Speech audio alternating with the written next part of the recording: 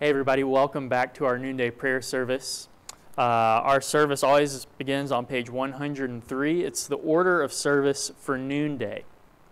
So let's pray. O God, make speed to save us. O Lord, make haste to help us.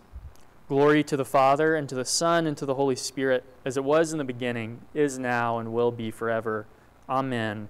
Alleluia. Short reading from Psalm 121. I lift up my eyes to the hills. From where is my help to come? My help comes from the Lord, the maker of heaven and earth. He will not let your foot be moved, and he who watches over you will not fall asleep. Behold, he who keeps watch over Israel shall neither slumber nor sleep. The Lord himself watches over you. Glory to the Father, and to the Son, and to the Holy Spirit, as it was in the beginning, is now, and will be forever. Amen. Well, our reading today is uh, from Acts chapter 2, and it's a familiar verse that you've, you've probably heard before. It's verses 42 to 47. The fellowship of believers devoted themselves to the apostles' teaching and to the fellowship, to the breaking of bread and to prayer. Everyone was filled with awe, and many wonders and miraculous signs were done by the apostles. All the believers were together and had everything in common. Selling their possessions and goods, they gave to anyone as he had need. Every day they continued to meet together in the temple courts. They broke bread in their homes and ate together with glad and sincere hearts, praising God and enjoying the favor of all the people. And the Lord added to their number daily those who are being saved. Well, the reason that I, I want to talk about this verse today is um, because I'd like to talk a little bit to you about community, Christian community, um, and the immense value that it is for us. Remember, I've been doing this like little teeny series on uh, how we might endure in the face of these strange times, the coronavirus outbreak. And so I've talked about a variety of topics, and today I want to touch into community. And the, the uh, sense that we get of community from Acts, I think, is a little challenging for a lot of us who uh, grew up as Episcopalians and were kind of more, um, more habitually acquainted with thinking about Christian community as just showing up for church. And, and I think that's really good. I, I can't imagine living out the Christian faith without this sense of um, just showing up being such an important part of the expression of our, our faith and our worship and our communal life. But this vision of Christian community that's presented in, in Acts is, is somewhat different. You notice it, it focuses so much on how um, they spend time together in their homes, how they're breaking bread together, how they're praying with one another regularly. It's this um, intensely intimate uh, vision of Christian community. And I think that the, the thing we're called to envision when we read a passage like this is to recognize that we need this. That it's not just that we show up to church, but it's also we, that we have these intensive groups, friendships, relationships that sustain us. And so, if you have that kind of relationship with someone or a group of people, and you want to endure during this time of uh, strange sort of social distancing, I would encourage you to commit to those relationships in whatever way that you can. Whether that's through regularly talking on the phone, it's through emailing or texting, whatever it is, meet with the people who you can pray with and pray for and live together with and share what's on your heart. You will need that in order to sustain a faith in a time that's severely challenging.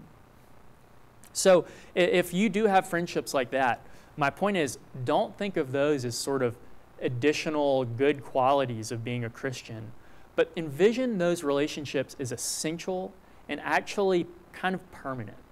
So if you have a friend who you're willing to pray with, think of that particular friend as a permanent relationship in your life.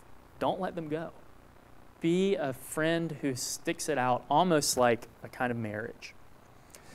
And now, if you don't have friends like that, you might have acquaintances at church or Um, maybe you have friends from work, but you don't have strong relationships with other Christians. Find some. I, I know that sounds sort of uh, point blank and blunt, but I would encourage you if you are hoping to endure during a period of really strange, challenging circumstances, you need to find a friend who you can stick it out with and pray with and share your life with. And if, if you are wondering how to do that, you, you can reach out to any of us on staff at the church. We would love to plug you into some kind of small group or um, plug you into the church in, in any way. But you will need that kind of friendship if you want to endure. Finally, I think it can be tempting sometimes to read about these intense communities that uh, Scripture shows us, particularly in the book of, book of Acts, and think, man, it kind of seems insular. It's kind of like a holy huddle, you know, everybody's all together.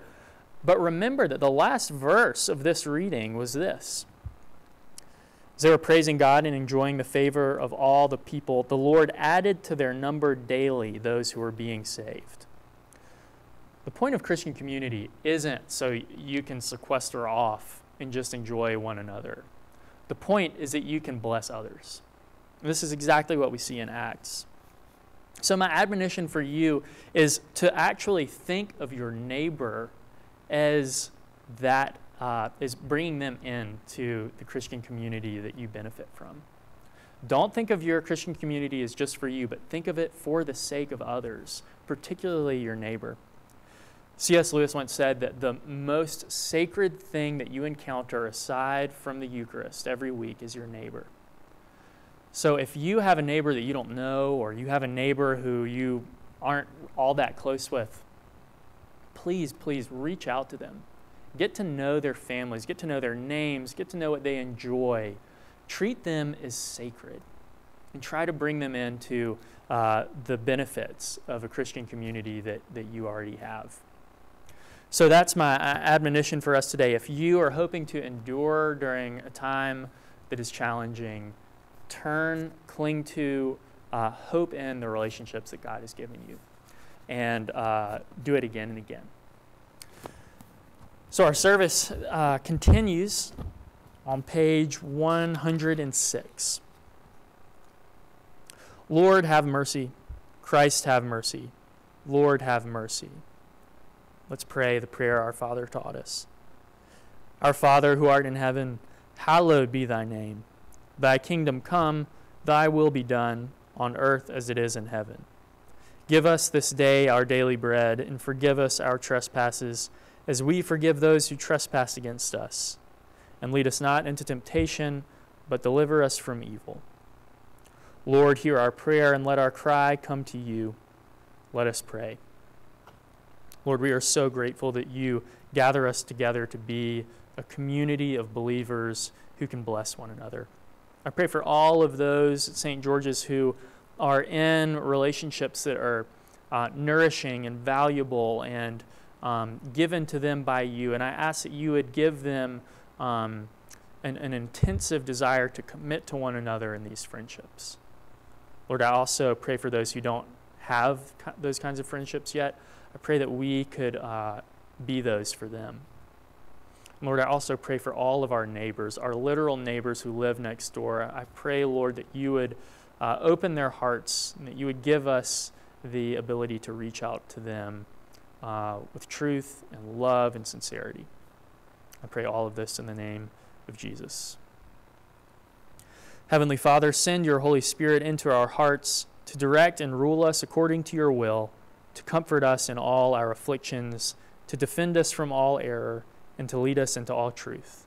Through Jesus Christ our Lord. Amen. Let us bless the Lord. Thanks be to God. Amen.